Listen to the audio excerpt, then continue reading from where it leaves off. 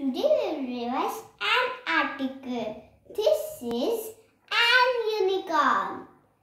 This is opals. This is an orange. This is a watermelon. I hope you understand this concept. Thank you.